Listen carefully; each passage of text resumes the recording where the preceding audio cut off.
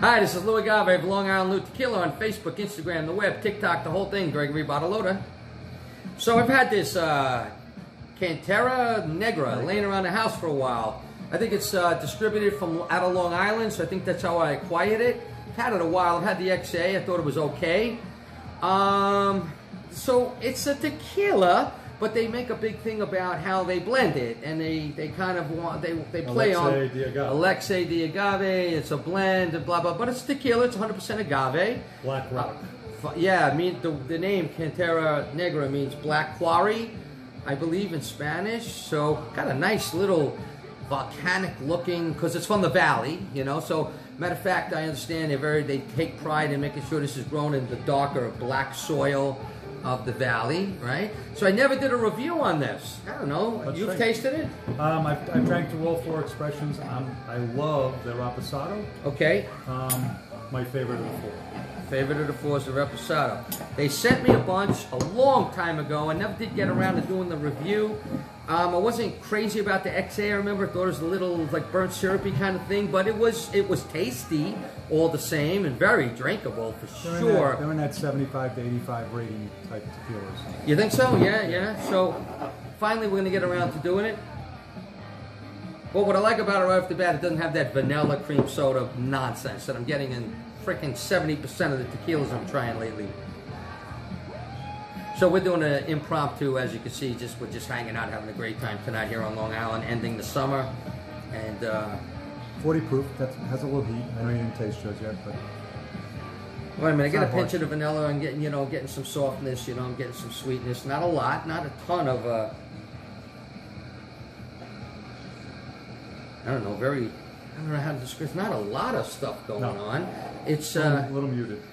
yeah, Has to open up a little that's bit. a good way of putting it. It's, it's, it's light vanilla, light sweetness, if you want to call it that, and light spice, light fruit, maybe if there's even any. Yeah. Hmm.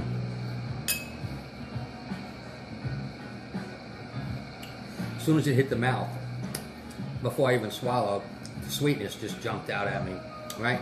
There's a lot of sweetness all of a sudden popping around. Actually, it's better than I remember, to be honest with you. Um, The taste is better than the nose, in my opinion. it's a little muted. I think that it Muted, opens up. perfect expre- uh, uh, way to explain it. And in a lot of my cases lately, I've been saying the nose is better than the taste. This is the opposite. Uh, I like it. I like the taste. Yeah, It's enjoyable. a little smoke now on the nose. Not a lot, but a little bit, right? Just a little tiny bit of smoke. I like this Blanco. I could drink this. Cheers.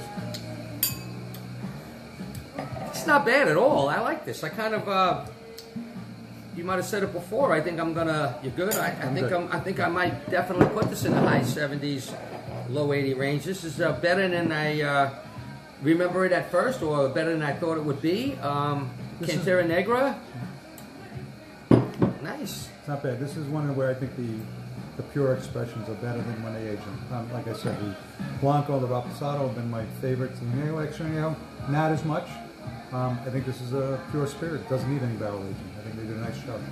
Yeah, um, I don't know if we know how this is actually made, um, in the sense uh, of, of the actual production, but I don't. uh, well, I don't think it was aged in barrels. Do you like rested for No, up no, to sixty days? Because it does have a little bit of softness and sweetness. Wouldn't surprise me. Let me, put, let me put the glasses on. Take but you know, um, okay, he's gonna check it out. But while he's doing that, um, it's got a soft. Like maybe it's oxygenated, maybe uh, maybe it's rested in stainless or glass. stainless, copper pot stills, roller mill crush, double still, stone brick ovens. I mean, it's it's traditionally made. It's, I mean, short of the roller mill. It's um, So ovens. yep. And it doesn't say anything about you know aging and uh, No. resting in some wood for a while. Ah, so yeah, so I mean you know it's pretty solid. Nice It's, uh, product. Nice yeah, where'd it come from? I mean, glad I grabbed it off the shelf to finally do a review on it. Good Uh, call. Salute. I'm a solid 79 myself on Tequila Matchmaker. Yeah, I mean, I'm an 80. I'm like a point higher than. Nice. So uh, you know uh, Cantera Negra, and uh, this is pretty good. On Long Island Tequila with Gregory and uh, Salute. Enjoy. Cheers.